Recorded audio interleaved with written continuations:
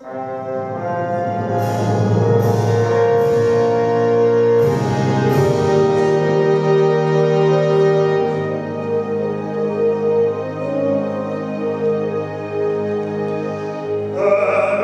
a te, soltanto in ma presto sogna stranetà, come la tua